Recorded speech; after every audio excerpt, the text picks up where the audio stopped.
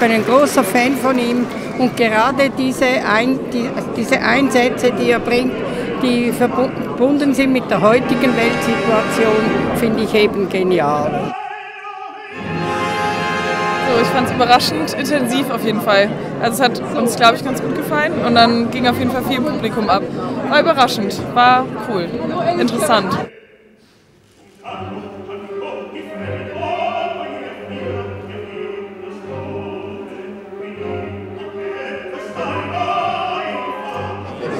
Finde, man kann hinterher sagen, was man will, man kann buhen, man kann Bravo schreien, man kann rausgehen, aber so währenddessen ist es einfach ein bisschen kleinlich. Aber andererseits war es auch spannend dadurch.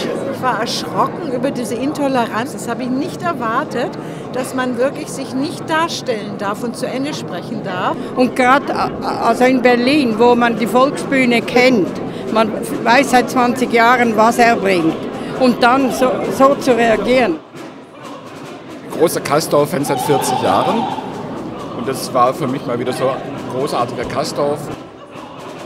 Sänger fantastisch, äh, Chor fantastisch, Musik sowieso toll. Was will man da sagen? Also eigentlich ein schönes Experiment der Abend. Ich finde nicht, dass es immer funktioniert, aber es ist äh, ein aufregender Versuch. Ein bisschen provokativ.